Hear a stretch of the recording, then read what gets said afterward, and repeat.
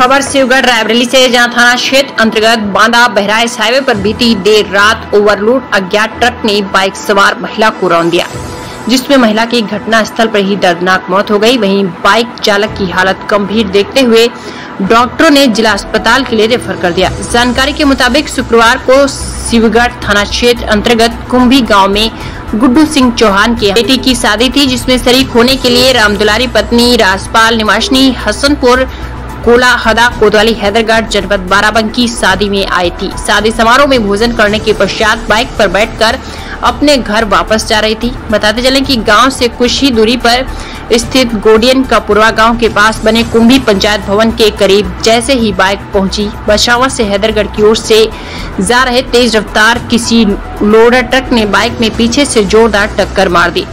जिससे महिला बाइक से गिरकर ट्रक के नीचे आ गई और ट्रक ने उसे रौन दिया, जिसमें 50 वर्षीय रामदुलारी की घटना स्थल पर ही दर्दनाक मौत हो गई। बताते चलें कि ट्रक के ओवरलोड होने के चलते महिला का शरीर दो टुकड़ों में तब्दील होने के साथ ही क्षतिग्रस्त हो गया। वहीं हादसे में बाइक चालक गंभीर रूप से घायल हो गया, जिसे आनंद फानन में सामुदायिक स्वास्थ्य केंद्र शिवगढ़ ले जाया गया, जहाँ डॉक्टरों ने बाइक चालक की हालत गंभीर देखते हुए प्राथमिक उपचार के पश्चात उसे जिला अस्पताल के लिए रेफर कर दिया।